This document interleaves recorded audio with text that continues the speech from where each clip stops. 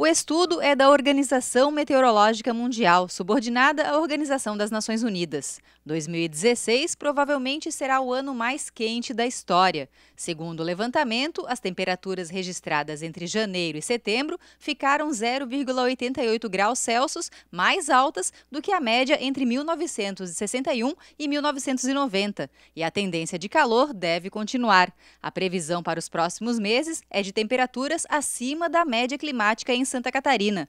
O levantamento foi feito pela Epagre Ciran, vinculada ao governo do estado.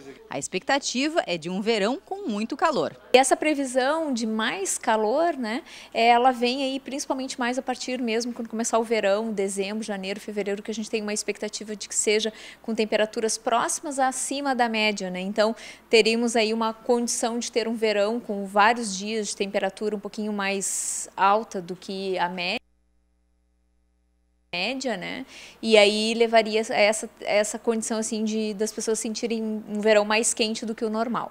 Segundo a pesquisa da Ipagre Ciran, o verão deverá ter também uma grande amplitude térmica diária, ou seja, a temperatura deve ficar amena ou mais baixa no início do dia e bastante elevada à tarde. E isso se nós tivermos um padrão um pouco mais seco, que também está previsto, né? Então aí teremos essa condição.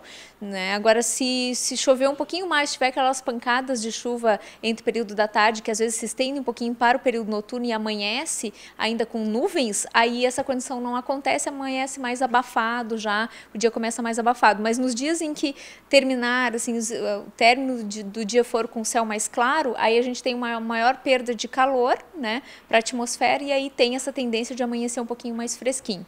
Já quanto à chuva, os banhistas podem ficar tranquilos. A previsão para o verão é de chuvas abaixo da média climática para o estado. As precipitações deverão estar concentradas em períodos curtos, em alguns minutos ou horas do dia.